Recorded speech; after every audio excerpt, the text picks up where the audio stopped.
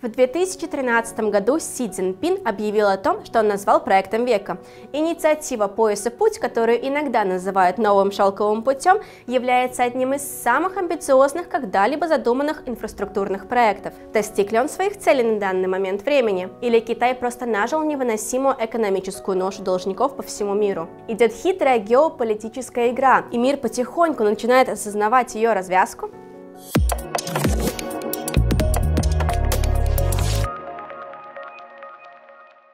Си объявил о стратегии как об экономическом поясе шелкового пути во время своего официального визита в Казахстан в 2013 году. Со временем проект получил название «Инициатива пояса и пути». Пояс в названии относится к возрождению ряда сухопутных торговых путей, соединяющих Европу с Азией, в то время как путь подразумевает план создания новой морской торговой инфраструктуры вдоль старого маршрута Марко Поло, морского шелкового пути, который соединит Китай, Юго-Восточную Азию, Африку, Африку и Европу. Однако было отмечено, что эта инициатива касается гораздо большего, чем инфраструктура. Многие говорят, что план Китая «Пояс и путь» — это попытка развить расширенный взаимозависимый рынок для Китая, нарастить его экономическую и политическую мощь и создать для Китая подходящие условия для построения высокотехнологичной экономики. Между тем, примеры инвестиций в инфраструктуру инициативы «Пояс и путь» включают порты, небоскребы, дороги, железные дороги, мосты, аэропорты, электростанции, плотины плотины и железнодорожные тоннели. И проект вроде как должен быть беспроигрышным вариантом для всех вовлеченных сторон. По оценкам Всемирного банка, пояс и путь может увеличить торговые потоки в мире аж на 6,2%, увеличив глобальный реальный доход почти на 3%, а ВВП развивающихся стран Восточной Азии и Тихоокеанского региона почти на 4%. Проект был создан для устранения пробелов в инфраструктуре, что могло бы ускорить экономический рост в Азиатско-Тихоокеанском регионе, регионе Африки, а также Центральной и Восточной Европе. Таким образом, основное внимание уделялось инвестициям в инфраструктуру, образование, строительные материалы, железные и автомобильные дороги, автомобильную промышленность, недвижимость, энергосистемы, железо и сталь. С тех пор, как в 2013 году был запущен проект века, пояс и путь расширялся и развивался, а в 2022 году в проекте числится около 146 стран и 32 международные организации, а также подписано около 215 документов о сотрудничестве. Африка считается ключевой частью китайского проекта из-за ее потенциала в сфере железных и автомобильных дорог, а также энергетики. Кроме того, многим африканским странам нужна более совершенная инфраструктура, которую Китай готов спонсировать. И таким вот образом Китай начал большую часть своей инвестиционной деятельности в регионе Восточной Африки, предоставив африканцам доступ к портам, железным и автодорогам. Африканские страны, такие как Кения и Нигерия извлекли большую пользу из деятельности Китая. Банки Поднебесной профинансировали множество проектов, в том числе крупный газопровод и железные дороги в Нигерии. В Кении китайцы построили высокоскоростную железную дорогу между Мамбасой и Найроби, которая является первой высокоскоростной железной дорогой на континенте. По оценкам, в 2020 году инвестиции Китая в Африку достигли 23 миллиардов долларов. Это сделало Китай крупнейшим спонсором инфраструктурных проектов в Африке, поскольку он финансово поддерживает примерно пятую часть всех проектов и строит треть из них. Однако для строительства многих из этих объектов Китай направил большое количество собственных рабочих в развивающиеся страны, а сумма займов, набранных у Китая только лишь странами Восточной Африки, на данный момент составляет более 29 миллиардов долларов. Хотя с момента своего создания проект «Пояс и путь» добился значительного прогресса, он также столкнулся с некоторыми неудачами. Поскольку Китай активно выдавал кредиты развивающимся странам, странам, его стали обвинять в использовании инициативы «Пояс и путь»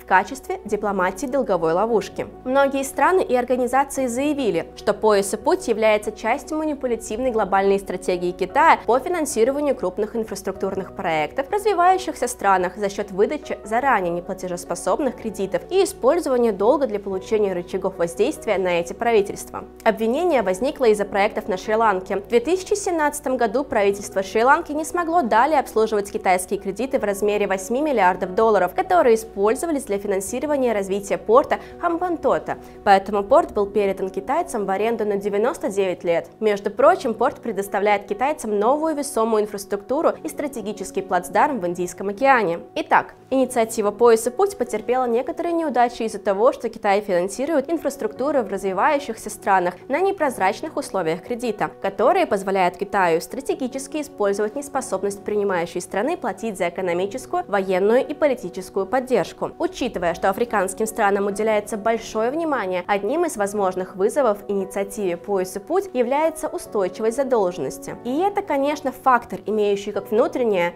так и международное значение. Китай известен своим агрессивным стремлением инвестировать за границей и более высоким аппетитом к риску. Отсюда и огромные суммы кредитов африканским странам. Однако, хотя эта стратегия может сработать, она также может стать палкой о двух концах, как для Китая, так и для стран, которые он кредитует. По данным исследовательской группы, общая сумма кредитов китайских финансовых учреждений на проекты в странах, причастных к проекту, в 2020-2021 годах составила 52 миллиарда долларов. А теперь, похоже, проект века по созданию достойной инфраструктуры в развивающихся странах превращается в первый зарубежный долговой кризис Китая. Было отмечено, что по крайней мере 18 африканских стран пересматривают свои долги Китаю, в то время как 12 других африканских стран ведут переговоры с Китаем о лимитировании кредитов на общую сумму около 28 миллиардов долларов. Но поскольку Китай в настоящее время сам находится в кризисе, страна решила затормозить кредитование Африки. Китай подавал знаки о более осторожном подходе к нескольким африканским странам, которые отчаянно пытаются погасить свои долги. Поскольку более 97 стран в общей сложности должны Китаю триллионы долларов, инициатива пояса путь неизбежно страдает от долгового кризиса. Для Китая это знаменует то, что аналитики называют критическим переломным моментом после почти 10 лет безудержного кредитования под видом проекта пояса путь, которое усугубилось с ростом инфляции и цен на энергоносители и ужесточением мировых финансовых условий из-за российско-украинского конфликта. Страны оттягивают выплаты по долгам, силясь их оплатить. Исследования показали, что 35% инфраструктурных проектов пояса пути сталкиваются с серьезными проблемами при реализации. И вот из-за огромного давления Пекин начал выдавать так называемые спасательные займы, чтобы погасить задержки по выплатам. Это означает, что китайские государственные учреждения выделили десятки миллиардов долларов таким странам, как Пакистан, Беларусь, Египет, Монголия, Турция и Шри-Ланка, чтобы помочь им обслужить свои кредиты и избежать дефолта. Однако, по словам Мэтью Минджи, старшего аналитика Rodium Group,